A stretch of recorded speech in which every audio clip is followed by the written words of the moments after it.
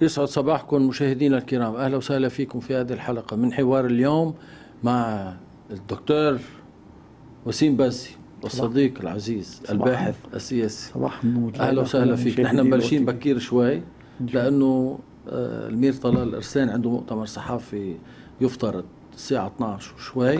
بقى نحن رح آه، بلشنا بهذا الوقت مشان نوضح للمشاهدين الكرام ونغتنم الفرصة بوجودك ونستغل الوقت إلى أقصى حد.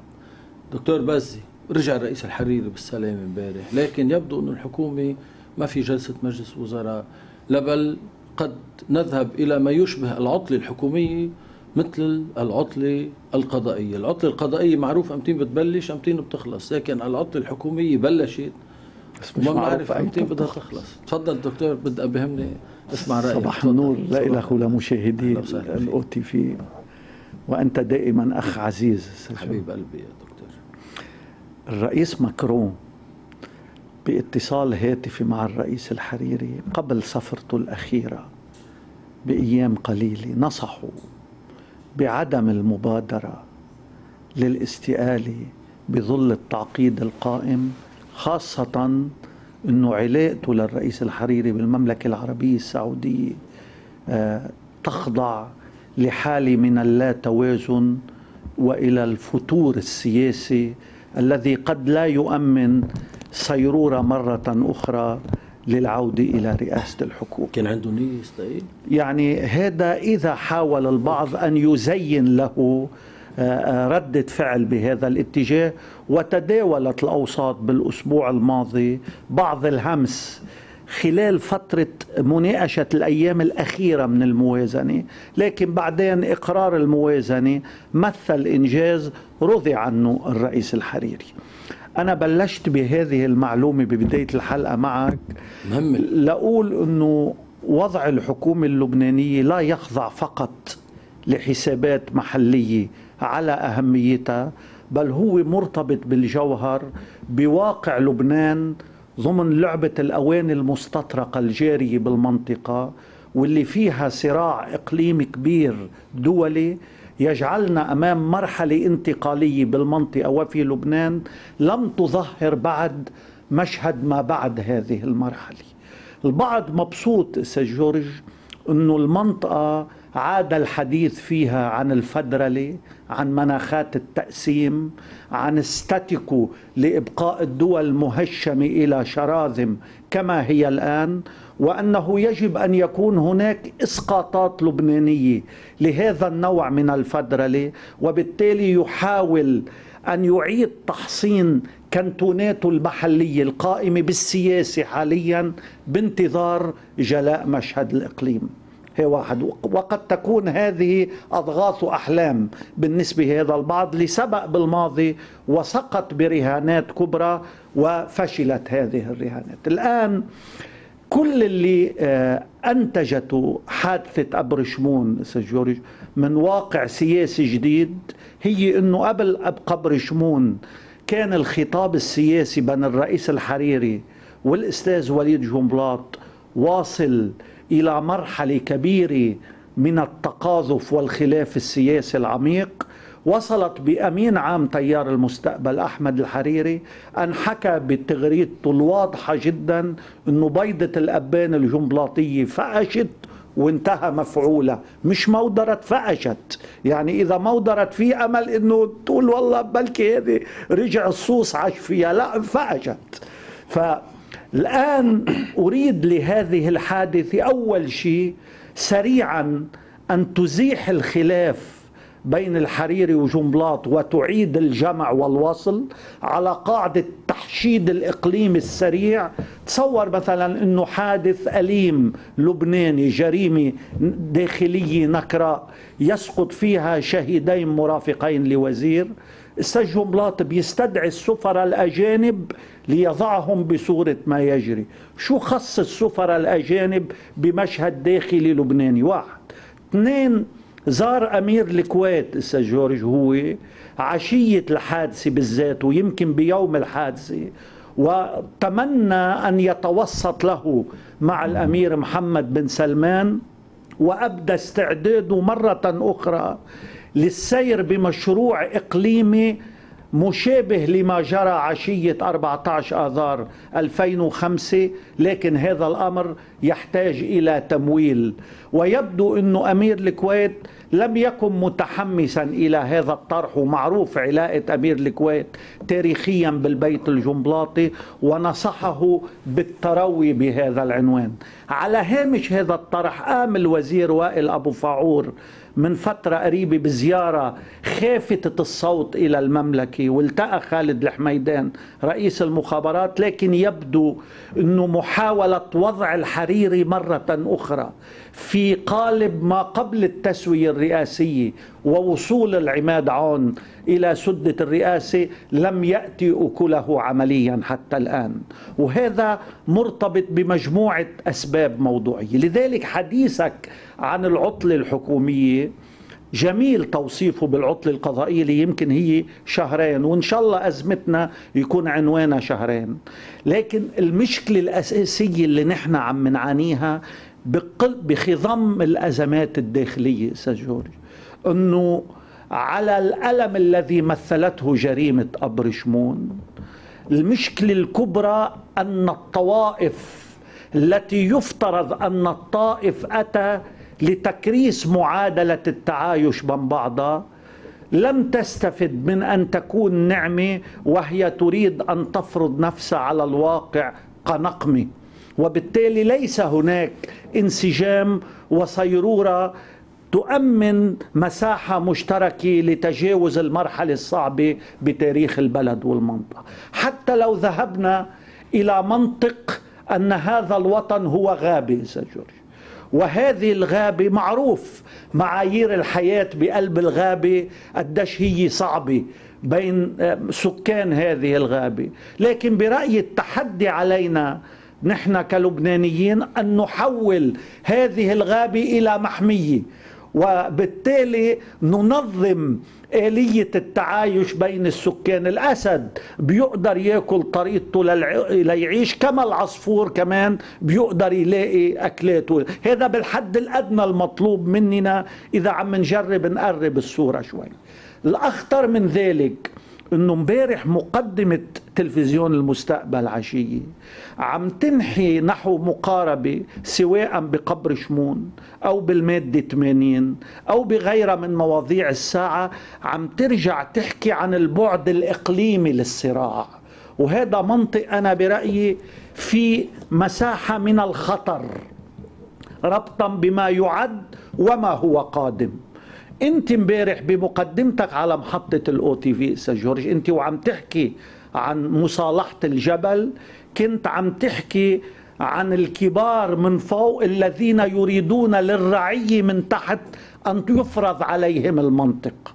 وهيدا أيضا بينقلنا إلى سؤال هل فعلا حرب الجبل الباردة ما بعد ما سمي مصالحة عام 2000 هل فعلا هي توقفت مفاعيلها واسقاطاتها وخلقت منطق جديد بين أهل الجبل المؤسسين لهذا الكيان؟ هذا سؤال أول. السؤال الثاني هناك من يفترض أن هذه الحرب انتهت وأنتجت مصالحة وتوازنات؟ المشهد فيها من هون رجال دين من طرف المسيحي ومن هون رجال سياسي وسلاح منتصرين. وبالتالي كيف يستقيم التوازن بين المشهد من هنا والمشهد من هناك؟ لذلك في أطراف مسيحية أساسية بالسياسة ترفض توازنات حرب الجبل وما أنتجته من مصالحة مدعات هذا الأمر ترجم بنتيجة الانتخابات النيابية الأخيرة ولو بشكل جزئي وبالتالي الزعامة الأحادية للجبل يبدو إنه زمنها انتهى. هناك من لا يريد أن يسلم يعتبر أن قبر شمون هي الحد الفاصل بين الحفاظ على الزعامة الأحادية أو أنه ما بعد ذلك يصبح زعيم أول بين آخرين. شوف الفرق وبالتالي يقاتل بكل هذه الذراوي دفاعا عن قبر شمون ولا يريد التنازل إلى ما بعد. بالإضافة بسياق الرد على سؤالك. هناك صراع كبير في المنطقة عنوانه المواجهة الأمريكية الإيرانية في ظلال هذا الصراع هناك تفاوض غير مباشر جاري بين الأمريكيين والإيرانيين. بالمناسبة القيادة الإيرانية من اللحظة الأولى لما بعد تاريخ 3 أيار حينما سفرت الولايات المتحدة تصدير النفط الإيراني عقد المجلس الأعلى للأمن القومي في إيران. أنا عم بكشف لك معلومة زجول الاجتماع كان ممهور مسبقا بموافقة الإمام السيد علي الخامنئي واتخذ القرار بالخروج الإيراني من مرحلة الصبر الاستراتيجي اللي استمرت سنة وشهر إلى مرحلة المواجهة المحسوبة والموزونة والتي قرر الإيراني فيها الذهاب إلى النهاية دفاعا عن مصالحه وعن قوت شعبه وعن ثورته وحتى لو أدى هذا الأمر إلى اندلاع حرب مع الأمريكيين. بناء عليه وتحت سقف هذا الخيار شفنا مجموعة خطوات من عراضات القوة الإيرانية التي لم يتجرأ الغرب والأمريكيين إلى منازلتها أو القبول بخوض المواجهة معها حتى الآن. بناء عليه الأمريكي ذهب إلى الحوار غير المباشر الذي يمثل العماني فيه. النقطة الأساسية في المركز. طبعا الفرنسي شغال الياباني شغال حتى عادل عبد المهدي رئيس وزراء العراق شغال. لكن العماني بخبرته التاريخية وبالموقع الجيوسياسي الذي يتمتع فيه بين الطرفين هو الأساس بهذه الحركة. شو قال الأمريكي للإيراني؟ أيضا بالمعلومات. قال لهم أنه نحن وهيدا بالزيارة الأخيرة ليوسف بن عيوم نقبل أن تعود لكم أموال طائلة مجمدة نتيجة العقوبات الأمريكية عن طريق العمانيين مقابل موقف إيراني غير متصدي لصفقة القرن. هيدا المنطق لوين بينقلنا؟ أن قسم في الإدارة الأمريكية وكمان هون عم بحكي معلومات اقتنع بعد مؤتمر البحرين أن صفقة القرن لا تملك بداخلها أسباب الحياة بل بالعكس بداخلها تملك أسباب الموت وبالتالي حاول أن يسلم بهذه الواقعة. لكن صهر الرئيس ترامب السيد جاريد كوشنر لصفقة القرن ملتصقة وموسومة في رفض التسليم بهذا الواقع زيارته الآن إلى المنطقة في سياق رفض التسليم وبالتالي استمرار الاشتباك مرتبط بعدم تسليم جارد كوشنر وفريقه المباشر بأن صفقة القرن قد هزمت وماتت. بناء عليه يبدو أن الأشهر القادمة تستمر فيها لعبة عض الأصابع بين الطرفين وبالتالي هناك إرهاصات إقليمية ولبنانية لهذا الواقع. في أطراف داخليين لبنانيين متورطين بشكل مباشر بالرهان على التصعيد قدموا أوراق اعتماد بأكثر من سياق في هذا الموضوع لاحظ انت قصة الحركشة بالموضوع الفلسطيني اللي صار رغم انه أنا مع انه الدولة تطبق القانون وطبيعي ان تطبق الدولة القانون لكن أحيانا التوقيت السياسي لأي خطوة يجب أن تكون محسوبة. لذلك مصادر بتيار المستقبل تتهم الأمريكيين بأنهم كانوا بمكان ما خلف التحريض على الذي جرى ربطا بالموضوع الفلسطيني خاصة على الأرض من قبل المعترضين على هذا الموضوع. هي معلومات عم بحكي. اثنين أستاذ جورج.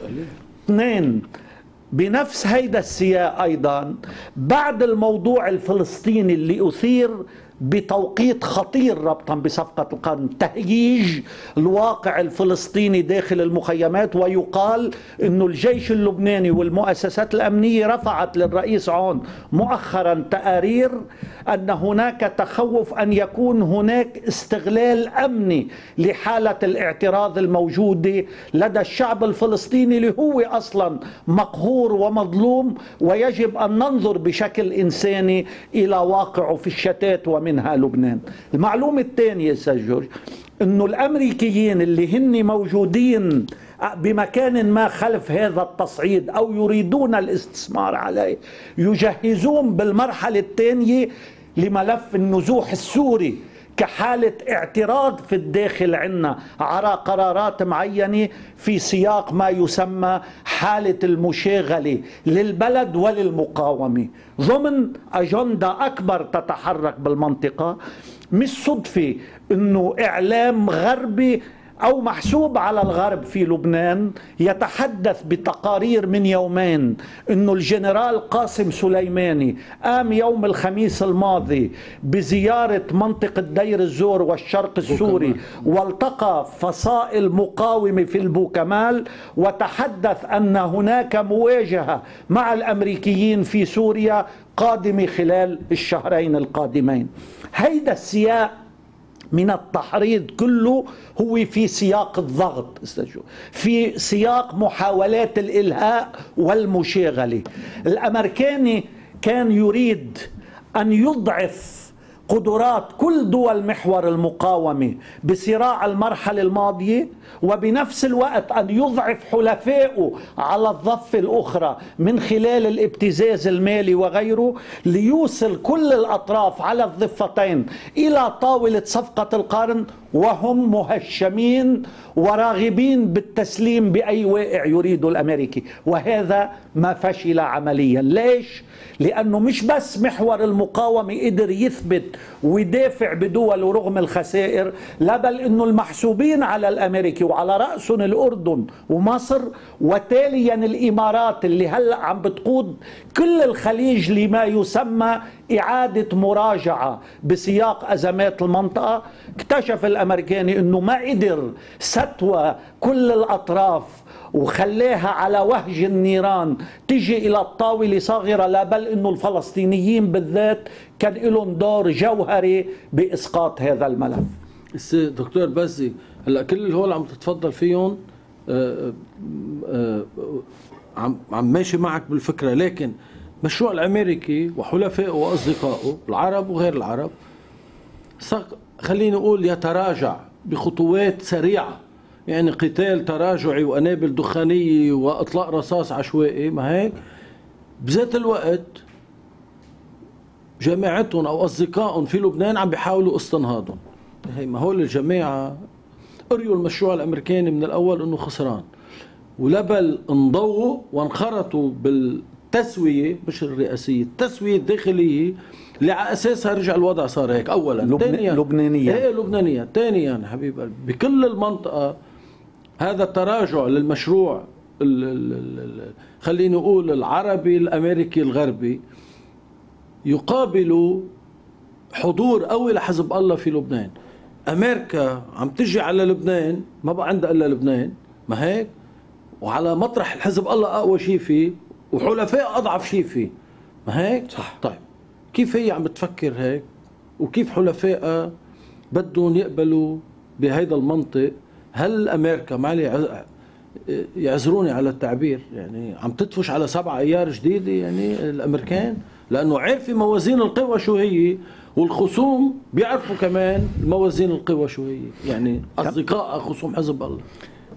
بس اشرح لي كيف كيف عم بيفكروا شو هالاستراتيجيه هذه العميقة اللي عم بيفكروا بصلب اللي عم تتفضل فيه.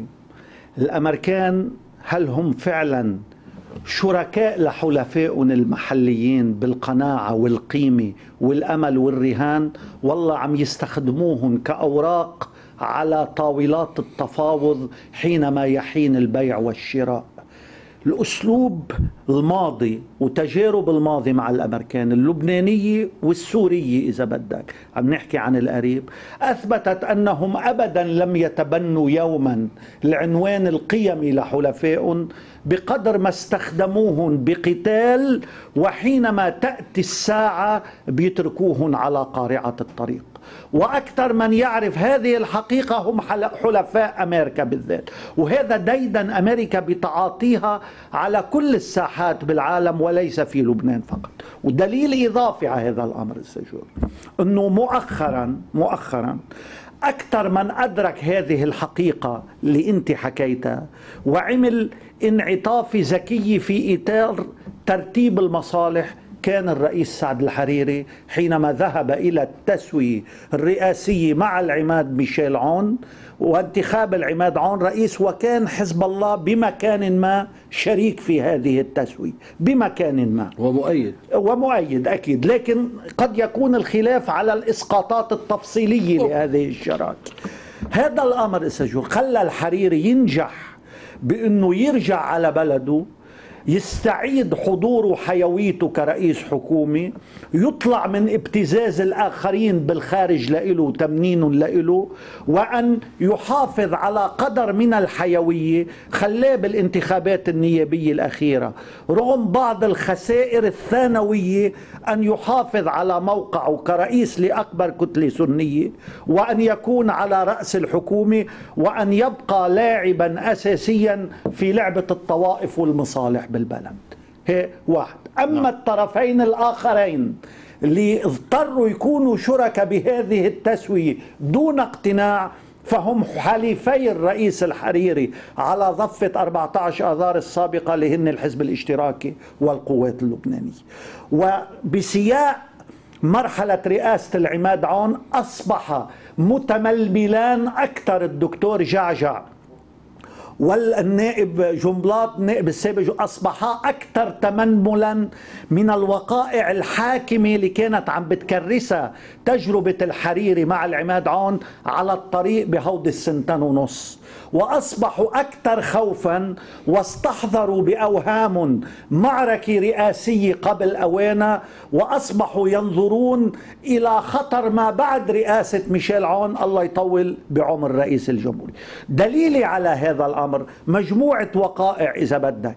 بالمعلومات النائب السابق وليد جنبلاط أرسل إلى حزب الله رسائل غير مباشرة منذ أقل من أسبوعين يقول لهم فيها أنه أنا مني مؤمن بطلال إرسلان ولا بغيره. مؤمن أنه قوتكم أنتم خلف طلال إرسلان هي سبب الأزمة وأنا بدي عالج المشكل معكم بشكل مباشر.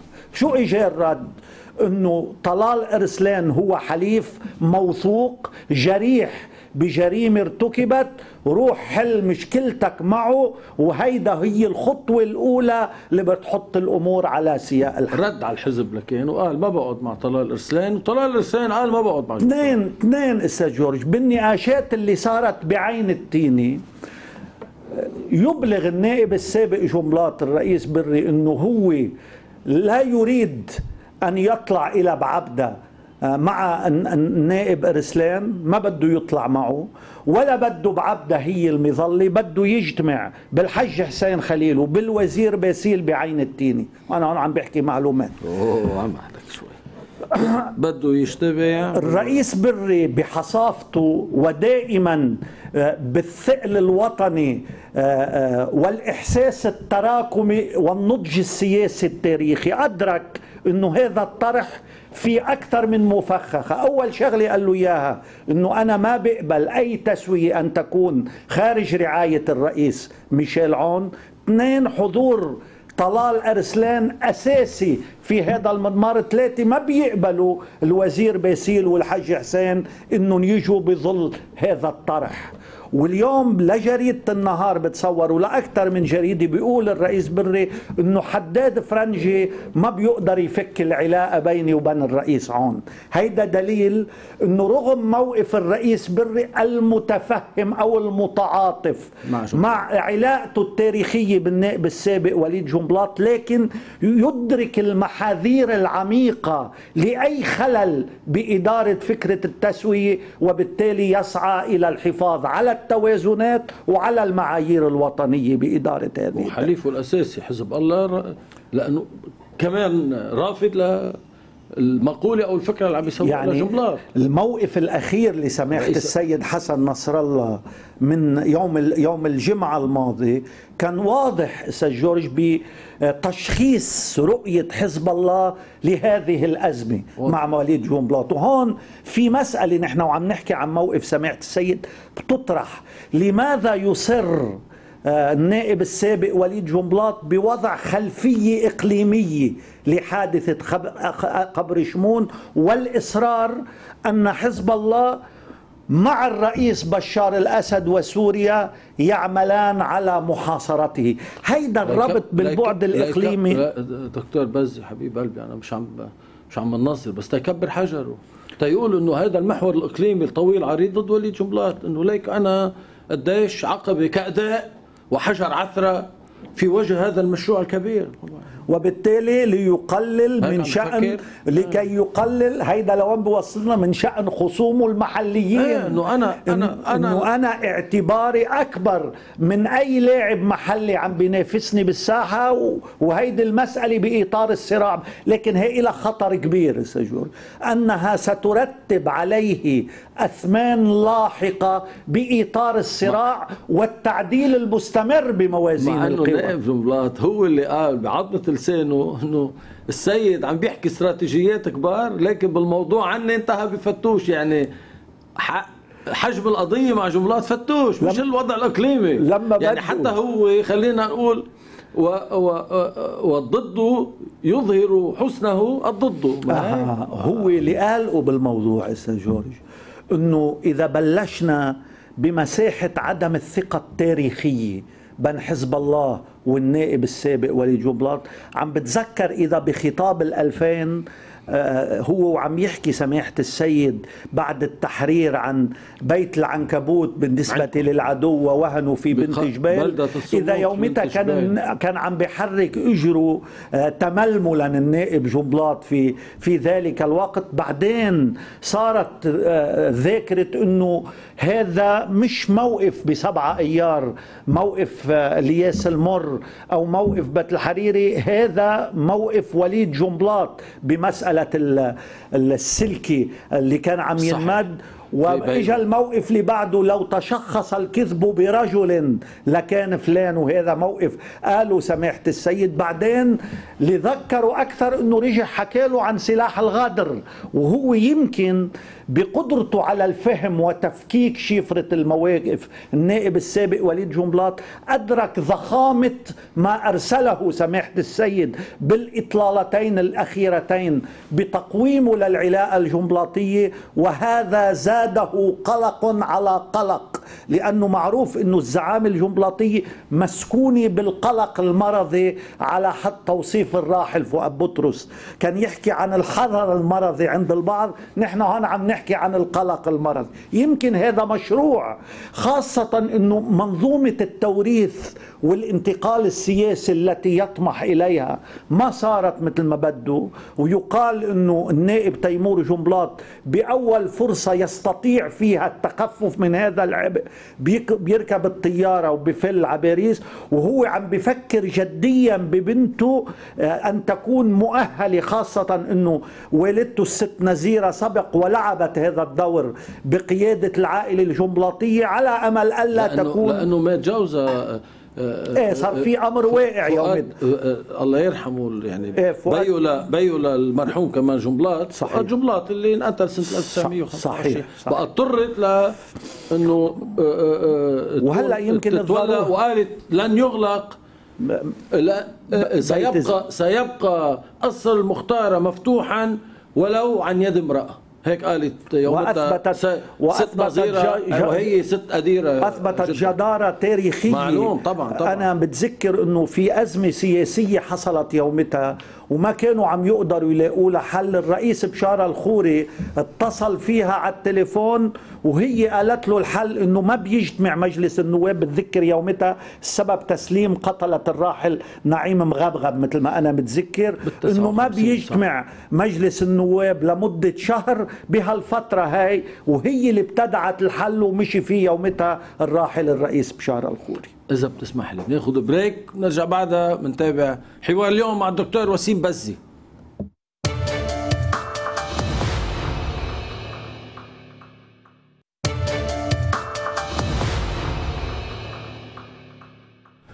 أهلا وسهلا فيكم مشاهدينا الكرام مجددا في هذه الحلقة من حوار اليوم مع حبيبنا الدكتور وسيم بزي الباحث السياسي. دكتور بزي الأستاذ الكبير صديقنا ومعلمنا الدكتور خطار حدثي بنوجه نوجه له الف تحية وبشكره. أنا عن متابعته وعم يحضرنا وعم بيتابعنا. وأنا بعتحالي تلميذه الاستاذ خطار. بقى مزبوط وهيدي الله يرحمه نعيم غبغب انقتل بعهد فؤاد شاب ما كان صار له سنة. ما هو كان طالع يهني وكان الرئيس الشاب ببيت الدين. عم بيقول إنه بعهد فؤاد شاب وليس بشار الخوري مع إنه صح. أنت قلت كهيدا صحيح. والست نظيرة الله يرحمها توفيت بآخر عهد بشار الخوري. صحيح. تماما أستاذ خطار فاقتضى التنويه والتصويب والشكر لك دائما على متابعتك وعلى ثقتك. فينا واكيد نحن ويومتها الصحافي الشهير الله يرحمه كمان ميشيل أبو جودي. كتب مقالته يلي فات فيه على الحبس والنهار سكرت.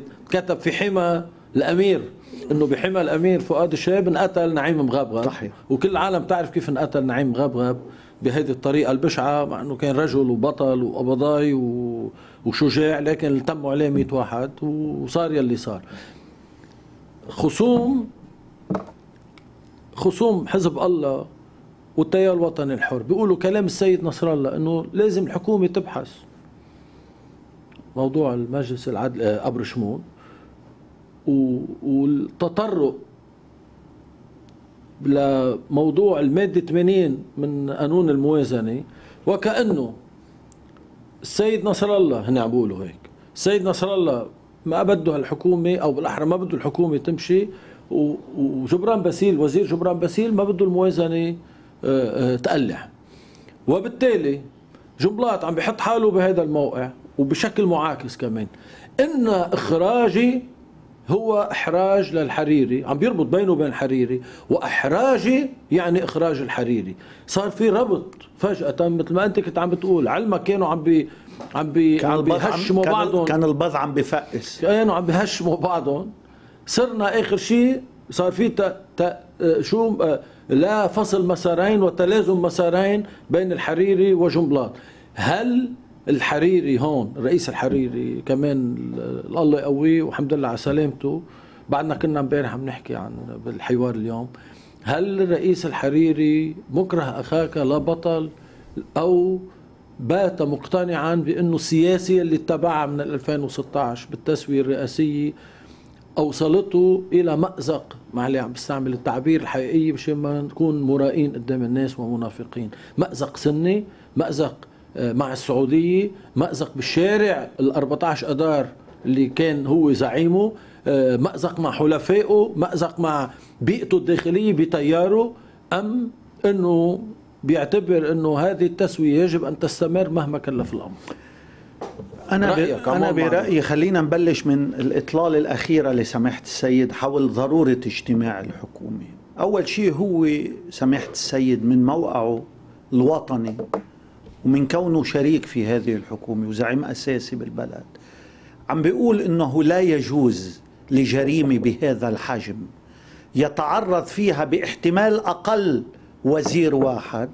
وإحدى الصحف اليوم عم بتقول إنه الرئيس عون بعد اطلاعه على ثلاث تسجيلات جديدة لحادثة أبر شمون أضحى أكثر اقتناعا أنه قد يكون مستهدف أكثر من وزيره على رأسهم الوزير باسيل وهذا لا ما بيصير نعتبره إنه هذه حادثة ما بتمس السلم الأهلي ولا تستدعي أن تحول إلى المجلس العدلي. في حين إنه حادثة الشويفات مع ألمنا للشهيد الذي سقط صارت بنطاق معين حددوا مده عام التمييز واختاروا كما يريد النائب جنبلاط في حينه.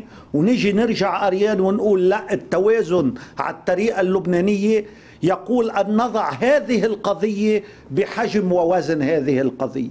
لذلك لا بالعكس احترام الحكومة لنفسها. يفترض كما يقول سماحة السيد أن تبحث هذا الأمر. الأمر الثاني سجو أنه إذا بترجع لاجتماع مجلس الدفاع الأعلى الشهير والذي لا زال اللغط سائر حول حقيقة ما طرح فيه يقال أنه الرئيس الحريري كان أميل إلى طرح هذه القضية إلى المجلس العدلي تمام لأنه معك. أدرك البعد الخطر الوطني المتمثل بهكذا جريمة على الأقل بانتظار جلاء نتائج من الذي فرمل اندفاعته واضح انه آه، دخلت عناصر خارجية. ما قلت لك صار اجتمع بالسفراء وصار يحطهم بالصورة. وبالتالي أريد لهذه القضية أن تكون ضمن الكباش السياسي الأكبر. تم إرجاع الرئيس الحريري خطوة إلى الوراء ومحاولة إعادة التشكيل المشهد الثلاثي الشهير. وأنا برأيي هذا اللي استدعى زيارة الحج حسين خليل الشهيرة ذاك السبت إلى بنشعي ربطا بتصويت آه، الوزير فينيانوس. إذا اقتضى الأمر ليصير المشهد سياسيا ونظريا الآن. 15-15 بعدين إذا بتلاحظ بالأسبوع الأخير بدأ بعض الإعلام غير المحسوب على 8 آذار يعمل التقرير يقول 15 ب 12 وموقف وزراء أمل بعده مش حاسم بهالإطار. وبالتالي السياق الإقليمي عم يضغط لإعادة فرز برأيي بتختلف الحسابات هون وبتروح القصة بسهولة بالتصويت إلى المجلس العدلي. حتى يمكن انتبه يمكن يطير واحد على الطريق يغيب يسخن من وزراء هذا الطرف. مثل ما صار بمجلس الدستوري بالزمانات الثلاثة ثلاثة سخنوا فرد نهار يعني بين عرفت كيف؟ بتتذكرها؟ طبعا. وقت الطعون. طبعا طبعا. طيب هلأ ما حدا بيعرف بسياق كمان. صيفية وشوب ورطوبة. الرد على سؤالك سجور الرئيس الحريري هو الذي يتهيب الآن دعوة الحكومة وطرح موضوع جريمة أبر شمون على المجلس العدلي قال خوفا من شو؟ خوفا من حاصل الانقسام السياسي الذي سيتبدى داخل الحكومة. علما إنه يقال شو إنه الحكومة مش منظمة إنه اللواء كله إنه اللواء إبراهيم طرح أكثر من حل والرئيس بري أيضا كان له دور صح. إنه إما بيغيبوا الوزيرين المعنيين. علما إنه أنا لفت لي نظري. سماحه السيد بمقابلة الثلاث ساعات وربع وبالإطلالة الأخيرة أنه حكى عن وزير مقتول ووزير قاتل على نفس الطاولة. هلأ ما بعرف إذا هو كان عم بيوصفها مجازا ولا مقصود إيصال الرسالة إلى أحد الوزراء المعنيين. ما بعرف هذا كل واحد فيه يسمع على طريقته بإطار حسن النية. الأمر الثاني سجورجي طرح أن يكون هناك ثلاث أجهزة أمنية شركة بالتحقيق. علما أنه مدعي عام التمييز صارع لتحويل القضية لعند جهاز يفترض أنه ما عنده انتشار عسكري ولا كان موجود كقوة حاضرة في ميدان ما جرى لكن أيضا الانتقائية السياسية ارتأت أن يكون لوليد جنبلاط خلينا نقول وليد جنبلاط هو بيطمن فيها. رغم كل هيدا ذهب في الأسبوع الأخير إلى تصعيد إلى رفض الأصر الجمهوري كحاضنة وطنية للحل إلى رفض الجلوس مع المير طلال كصاحب صاحب دم ومعرض لجريمة نكراء هو وزيره على طاولة مجلس الوزراء. وبالتالي هون تفتح علامات الاستفهام عن محاولة تثوير البعد الإقليمي. من يعتقد أن روسيا هون اسمع يا من يعتقد أن روسيا تستطيع أن تؤمن حماية سياسية وإقليمية لزعامته خارج إرادة أهل المنطقة وأبنائها وتوازناتها طلعت بالقام منيح وتوازناتها برأيي أنا بيكون عم يعمل حسابات خاطئة. و...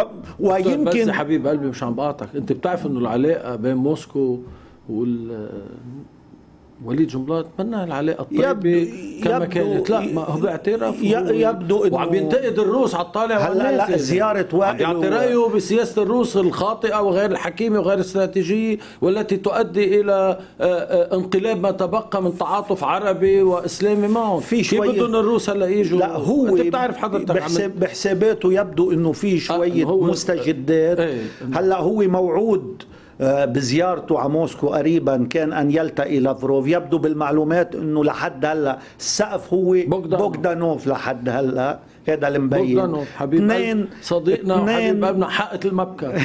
الكل بيروحوا لع اثنين أيضا. وجه له تحيه زفيف يعني بيحكي عربي ممتاز. إيه طبعا طبعا. وعنده عنده تاريخ مشرقي كبير وملم بقضايا المنطقة. إنسان رائع و... وصديق لكثير من زعامات المنطقة.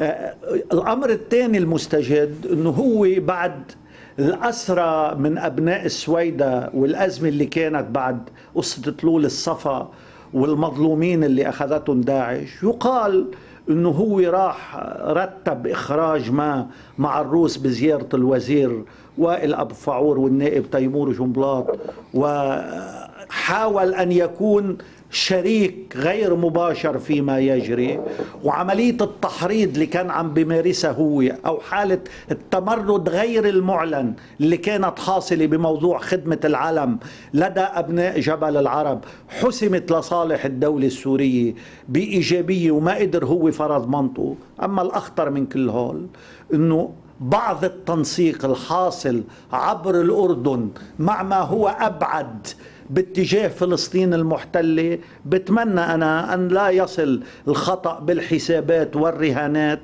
إلى حد الرهان مرة أخرى على مشاريع كنتني تعيد ضم منطقة الشوف مع وادي التيم مع منطقة جبل العرب بإطار أضغاث أحلام لدى البعض لأن هذا المشروع سقط ولك تكون له إعادة قيامة مرة أخرى.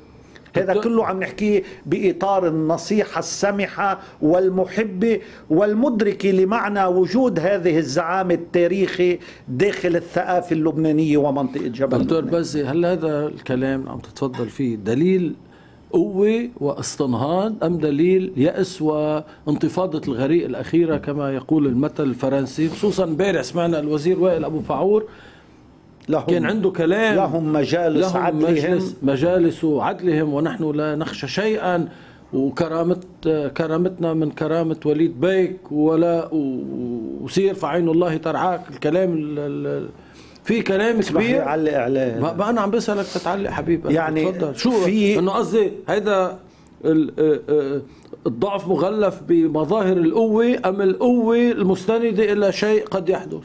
يعني من خلال فهمنا أستاذ جورج للزعامة الجنبلاطية وطريقة تحريكها لنعجل بهالفكرة طريقة تحريكها للأحجار لما بيتقدم الوزير أبو فاعور إلى الشاشة تكون إرادة التصعيد هي القصوى. ولما بيتقدم الوزير العريضي بتكون إرادة التهدئة هي القصوى. أما الوزير شهيب فشفناه بمشهد أبر شمون. لذلك النذر من خلال كلام الوزير أبو فعور أن اللحظة الجنبلاطية الحالية تذهب إلى التصعيد بحثا عن شو؟ دائما بحثا عن الحل لكن هو خائف من حجم الأثمان من تداعيات هذا الحل لاحقا على التوريث وما بعده والأهم توازنات المنطقة إلى أين تذهب وكيف سيحدد معايير زعامته ربطا بما هو قادم في المنطقة؟ أحد المسؤولين الكبار الأمنيين والسياسيين في لبنان بيقول أنه المشكلة هلأ إنه لا ولي جنبلاط بده يقرب لقدام ولا طلال إرسام بده يرجع لورا. كيف المخرج؟ قبل ما يبلش المير طلال يلا عم نحكي عن يعني هذا توصيف صحيح. في ظلم ما فيك تحط القاتل والمقتول بسلة واحدة في زعامة صاعدة بتحالفها مع التيار الوطني الحر. اسمها المير طلال تستشرف المستقبل وتراهن عليه والوزير جنبلاط خائف من الماضي ومن لحظة التراجع والهاوية التي يراها بعد قبر شمون شكرا لك دكتور شكرا. وسيم بزي. أهلا وسهلا فيك. بننتقل لدار دارة خلدي آه، المير طلال الارسان مؤتمر صحافي. ننتقل إلى هناك. شكرا لكم مشاهدينا الكرام. شكرا للدكتور وسيم بزي.